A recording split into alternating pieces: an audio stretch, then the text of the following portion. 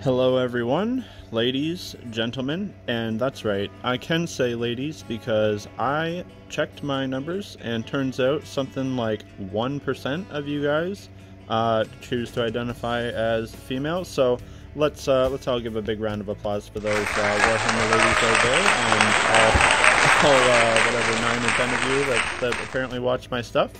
But uh, anyways, what uh, we're going to be talking about today is how to save money while playing Warhammer. And this is going to be a three part series um, because it's just too much to try to fit into one video. So, what we're going to be talking about today is the actual buying of miniatures and how to get the most bang for your buck, um, where to look, and how to look uh, for the best deals as far as Warhammer. So, right off the bat, um, the first thing I'm going to say is most of this is going to involve not buying directly from GW. I mean, I'm sure everybody knows just from looking at their website, it, this is not a cheap hobby. Like, if you're just getting into it, this is an expensive thing to jump into. And apart from some of the bigger box sets, like for example, like the 9th edition launch set, um, like the Indomitus box, like Space Marines versus Necrons, like that was a good deal. Like for what you got in that box, it was a good deal, and that's because they make those big boxes to try to draw people into the hobby. Um, some of the start collecting kits are not too bad, um, and you can get some savings there. But apart from those bigger, uh, bigger sets, and like they actually seem to have been getting worse over time. Um, like for example, the new one with the Eldar and the Chaos Marines, uh, not not the most savings to be had there, and you can certainly do a lot better. So I would say if you are going to try to buy from GW, um, definitely have a look for those sets. And what I would say is to look back in time because they're they've released a lot of these boxes, and but they don't stay available for very long.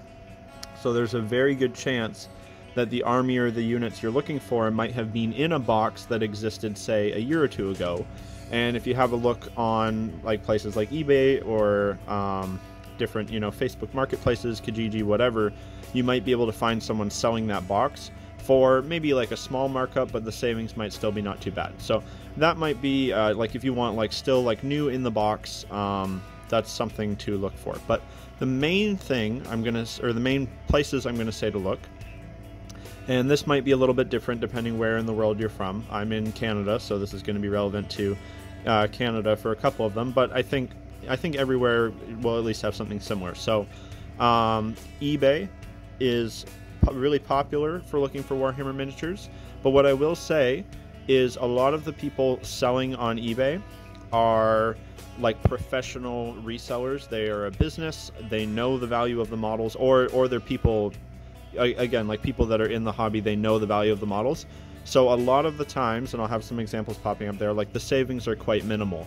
Um, a lot of the times you're, not, depending what it is, you might not be saving anything, or it might only be 10, 15%. Um, as with a lot of these, uh, if you're looking to, it just depends. If you're looking to start a new army, oftentimes people will be willing to sell their whole collection or their whole army at a greater discount than just the individual models. A lot of the times, if you're buying an individual model, the savings will be less. Like people will be willing to, if like okay, if you're gonna buy all my stuff, um, say fifteen hundred dollars, but it's actually, you know, twenty five hundred dollars worth of models. So you're getting it at a great discount there, um, as opposed to buying the individual model where it might only be ten or fifteen percent off. So if you're gonna buy from eBay, just be aware, like make sure you do your research, make sure you're not overpaying, um, and really check the value of the prices. Like even if it is an army lot, and be aware of anything that says pro painted because quite often it's not that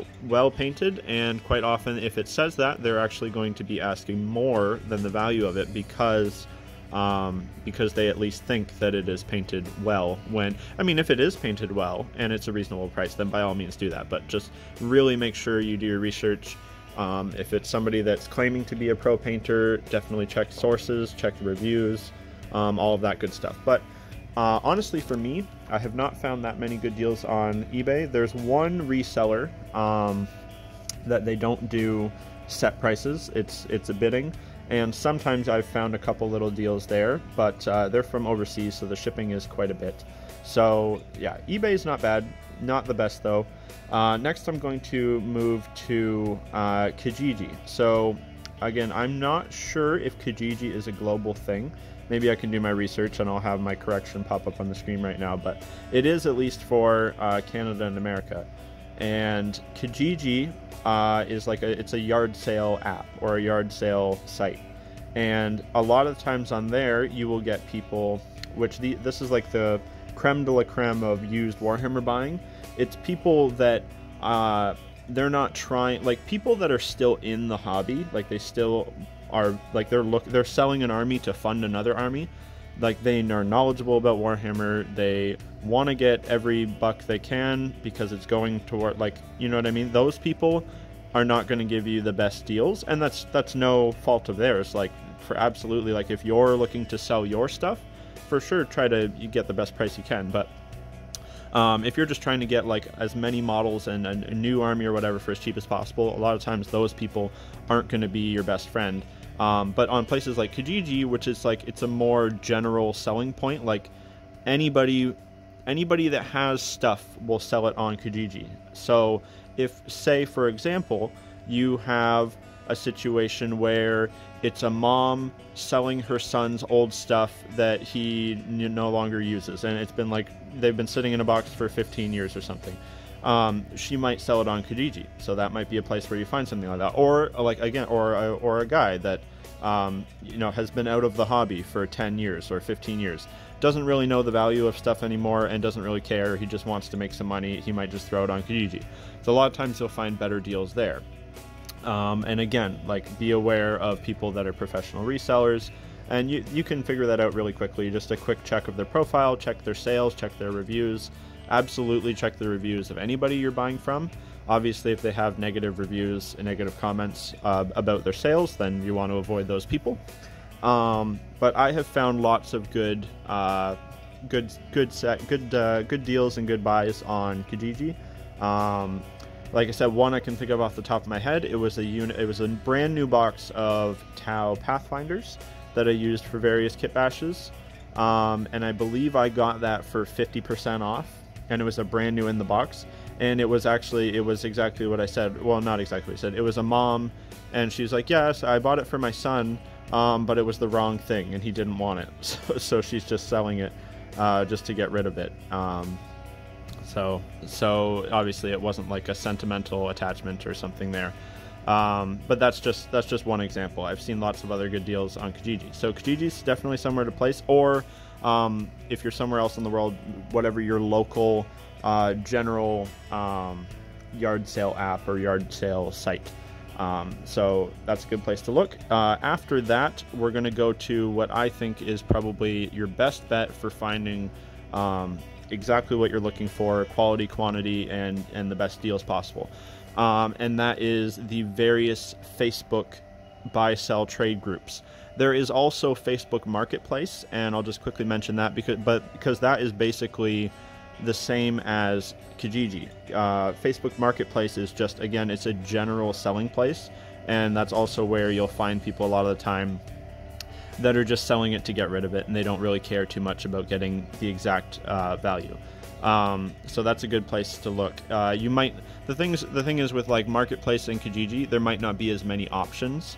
There might not be as many people selling on there, but you might be able to find good deals for what there is. So definitely check those out. Um, but to find again the most, like if you're looking for exact things, exact units, you can't beat the Facebook buy sell trade groups. I myself am a member of probably like five of them. Um, and I'll have uh, a, I'll just have them all popping up on the screen right now. Uh, different ones to check out. There is uh, a Canada specific one but and I'm sure there's specific ones for every country and maybe even every region.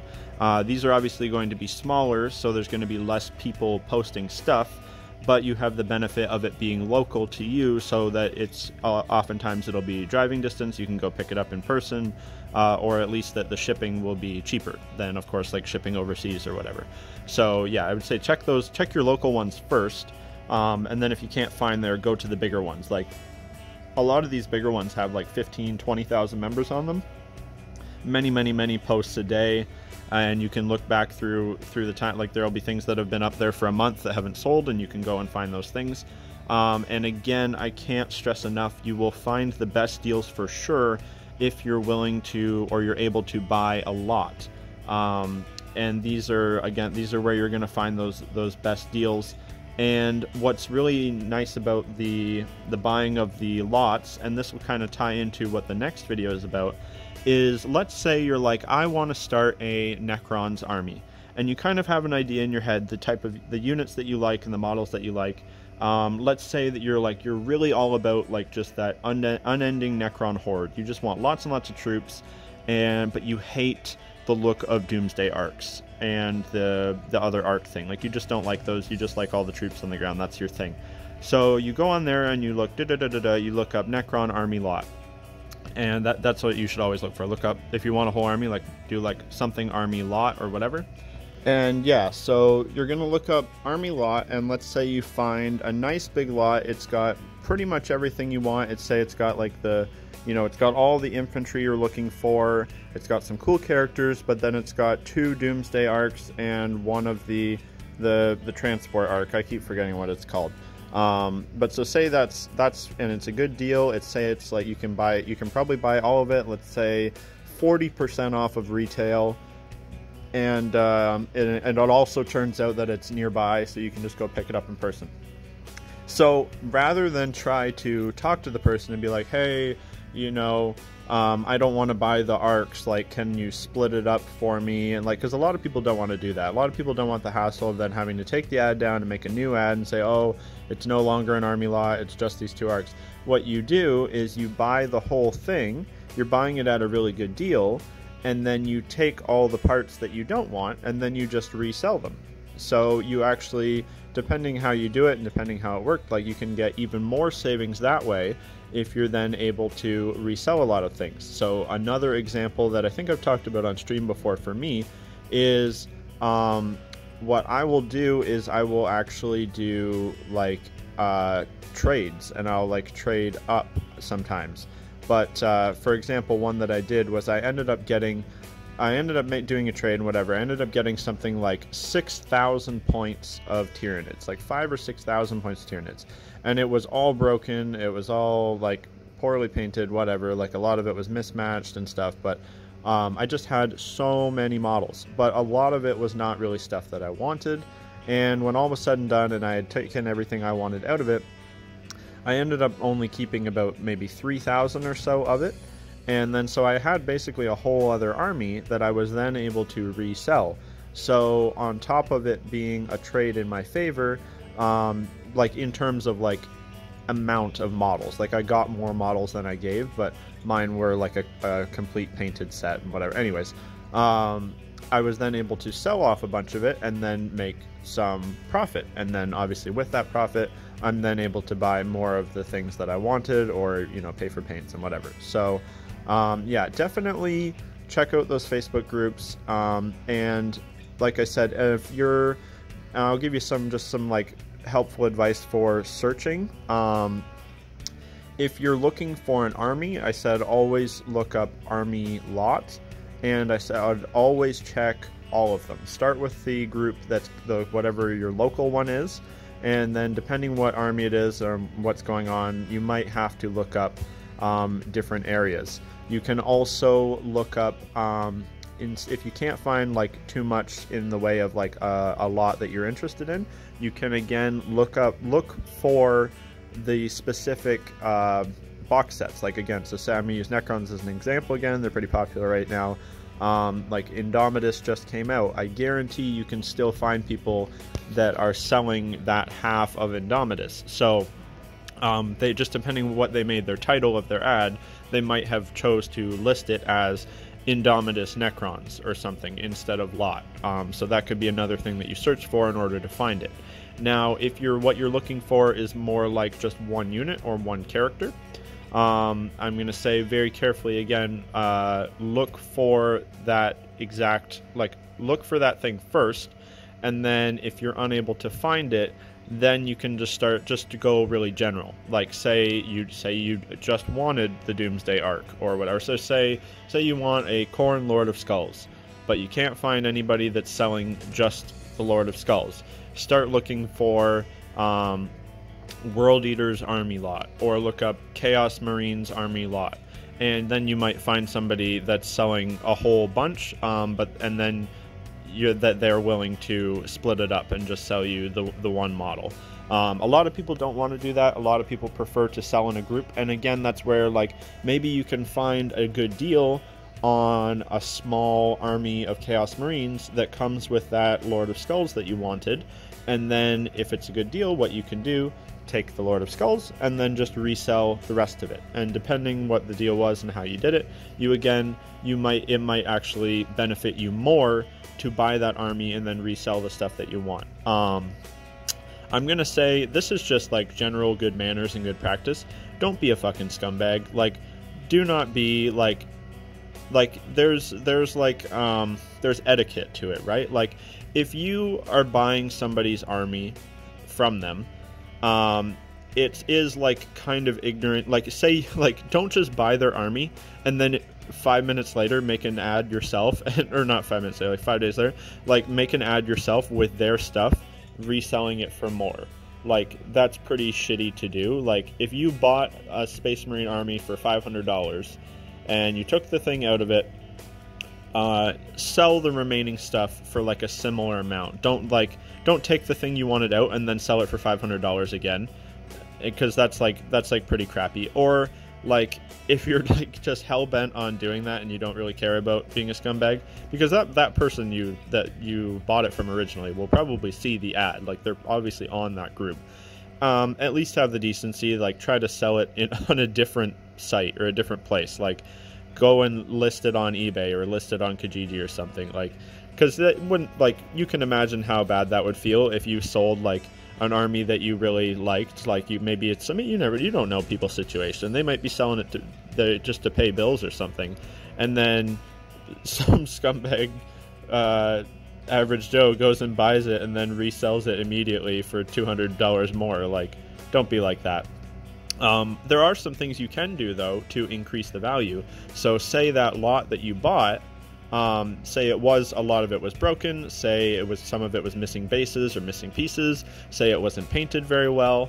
Um, what you could do is you could take it and before you resell the stuff that you want to resell, you can fix it all up, you can prime it, you can paint it if you really wanted to, and if, if you're a decent painter, that can add value. Um, sometimes it does, sometimes it doesn't, depends what your skill level is like and what people want. Um, but that's something you could do. Like for example, uh, a lot of that Tyranid stuff I sold, I like anything that was broken, I put it back together. Anything that had, um, you know, missing parts or had a lot of issues, I fixed that up. And I believe that I did prime prime a bunch of it because a lot of it was like mixed matched colors and like from different armies and stuff. So um, a lot of people will actually be willing like that it's more appealing to someone buying it right? Like a lot of people like for me i look at a giant box of broken tyranids and i'm like oh sweet awesome like let's see what i can do with this. But a lot of people are like uh this is like this looks like way too much work. I don't want to do that. Um, so yeah uh, that is one way that you can that will help you uh, would help you resell for more. So these are uh, this was like kind of all over the place. Uh, you know welcome to my ted talk about how to save money with Warhammer. Like I said, this was just the first part. This was just meant to be some things to think about when you're buying, um, some places to look uh, that might be helpful. The next part is going to be we're going to go more into what I was starting to there because I just fucking ramble all over, all over the place. Um, how to how to sell your stuff the for the the most amount of money and how to do that the best way. Um, as I said in a in a recent stream, I basically don't really spend much of my own money on Warhammer these days, um, which is really good because I have none. Oh, cries. Um, but uh, between basically like you obviously have it's you have to put some money into it initially, but then through um, reselling and then through like uh, commission painting and all these other ways that you can make it kind of pay for itself and of course like buying used and you know getting the best deals possible. Like you can if if not you know 100% you can definitely cut the cost down drastically. So yeah i thought i would uh, share some of my tips because i see a lot of people that are just buying like and i mean all, all power to you. Like if that's like if you are like no i really like getting that brand new box from gw stores um, paying full price. Like if that's what you want to do, that's all it's all to you. But a lot of us don't have much money these days, especially with everything going on. So yeah, I thought this would be helpful for some people. Um, as always, guys, thanks for watching. Um, if you want to support the channel, Patreon link is down below as always. I'm always posting uh, all my newest work in progress stuff down there, as well as taking uh, video suggestions. And um, like we just had a giveaway on the channel, the people that are in my Patreon um, actually get a shot at the second model for that, as well as getting uh, extra entries um, for the first model that was given away. So if you want to check that out, that's down below. If not, bye for now.